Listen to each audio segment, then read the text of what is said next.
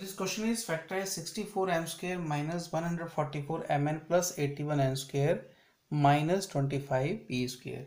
So if you see here these are three terms and this is single term and this is a perfect square 25 is the square of 5 p square is square of p.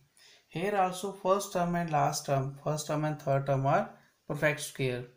So we will use one identity first we will use identity here uh, in this first bracket. So 64 m square can be written as 8 m whole square 81 n square can be written as 9 n whole square and this 144 mn is product of these terms 2 into 8 m into 9 n.